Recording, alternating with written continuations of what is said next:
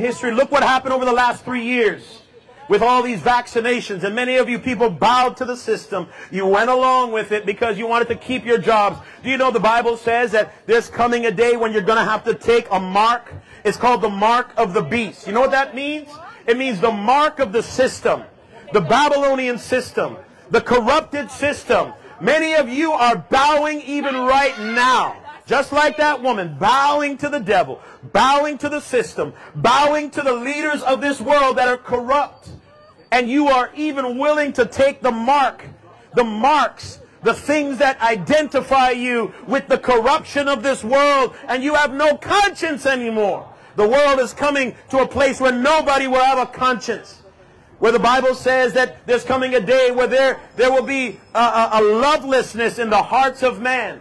There will be a love for the things of this world in the hearts of man. A love that's so passionate for corruption that even they will kill Christians. Even they will reject God. They will remove God from the places it should be. God should be on the throne, not man. God's ways should be exalted, not man's ways. God's word should be teach, taught in the school systems, not this corrupt stuff. And so now we're left to the streets. The real believers are left to the streets. And soon they're going to take us off the streets. They're going to say that the Christians, the ones that preach the truth, are the messed up ones. We are the, the, the, the, deluded ones. But we're the ones saying that marriage still exists between a male and a female. Not two women, not two men. It is a male and female. There's an Adam and Eve for a reason. We will not live if we, if we don't have a mother and a father. And if you want to pro propagate and promote all the wrong teachings and philosophies, you're going to end up in the grave just like those who do. Go ahead. Teach your children that it's okay for your, for your boy to sleep with another boy. Go ahead. He's not going to have a future.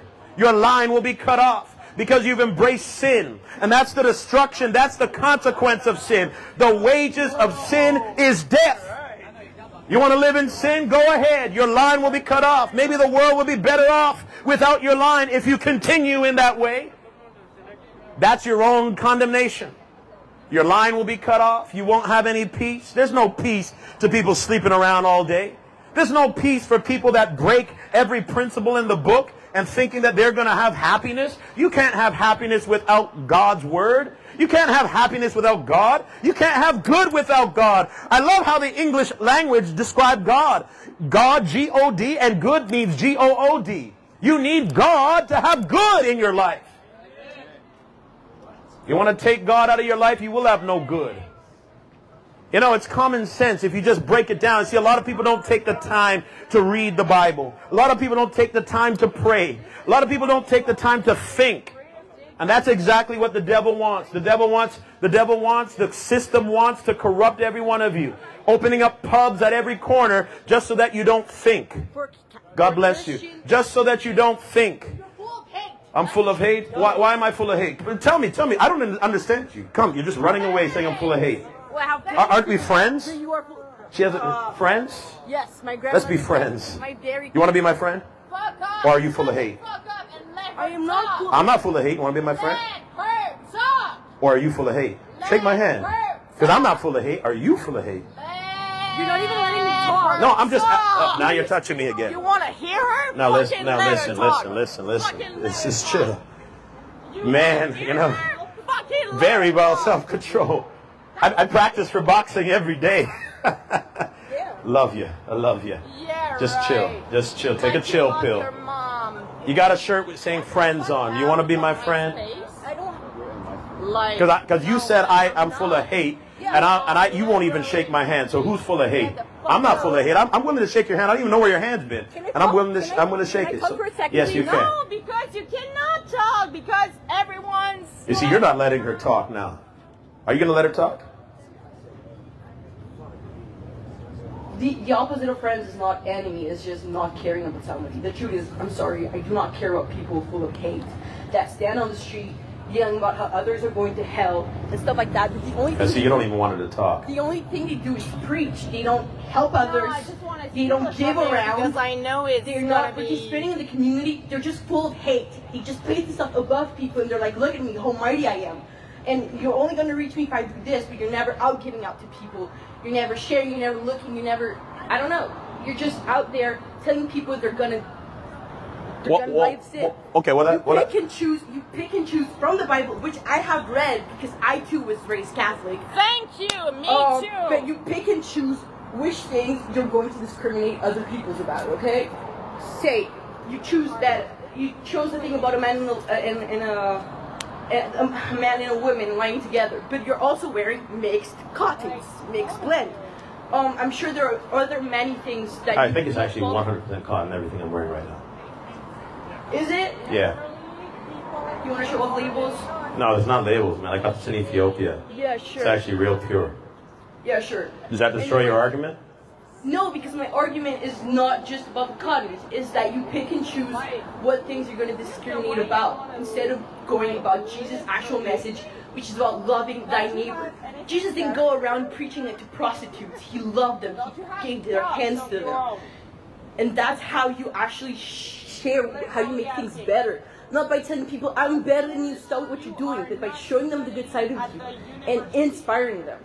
Well, well, well, that's what I was trying to ask you. I was like, would you shake my hand? You're not even showing any good to me. I mean, I mean, you might call me an enemy, a friend of me, or some other thing, someone you're not interested in. Look, I'm, I'm saying, regardless of who you are, I'm willing to shake your hand. So I think you're misjudging me, misrepresenting me. You just came a second ago, hear one thing, and you No, assume. I heard- hold on, I listened to you, listen to me. You, you assumed my entire life.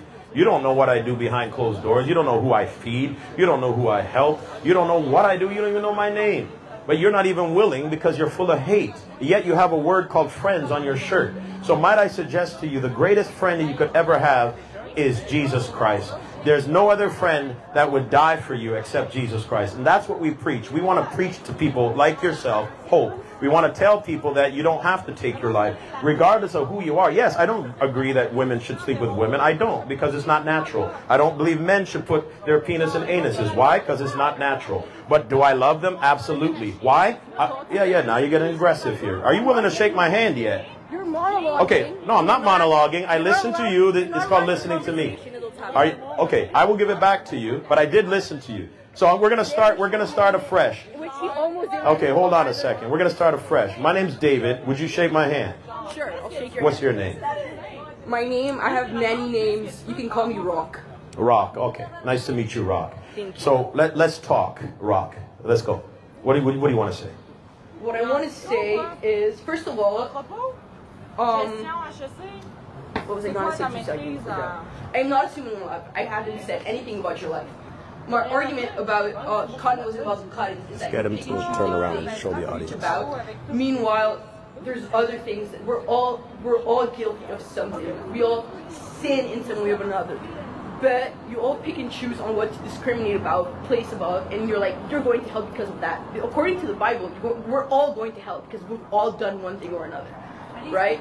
But why should these people, why should thy neighbor stop their sin more than we should stop the sins that we're doing? I think that we should review ourselves first, very hardly, before coming into others and telling them, you're going to hell because of that. Like, I think you should really, like, we all should look at ourselves in the mirror before going to others and just judging. Like, we don't know their lives either. No, and I- the truth is, I think, like, I don't know, it's kind of weird to be thinking about other people having sex all the time. Like, that's literally none of your business. Like, go help in the community shelter before thinking about what other people do in their bathroom. This is whack, man.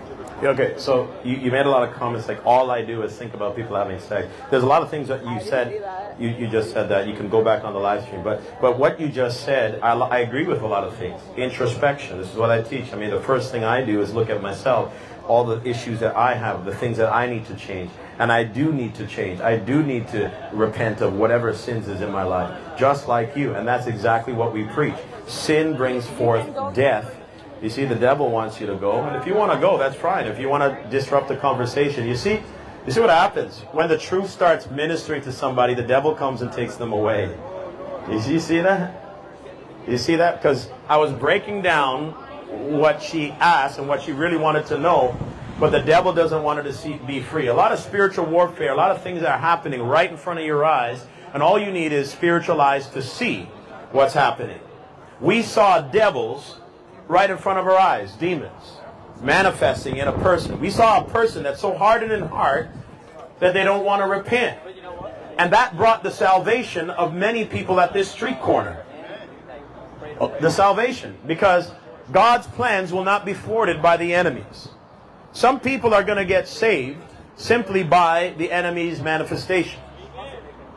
So that's just shows you don't be afraid of the enemy. Keep preaching regardless of what you go through because God is going to come out on top at the end of the day. And it's the same thing with the future of this world. The future of this world is going to be in the hands of God. This world is going to bow before the name of Jesus Christ. Soon it looks like the devil.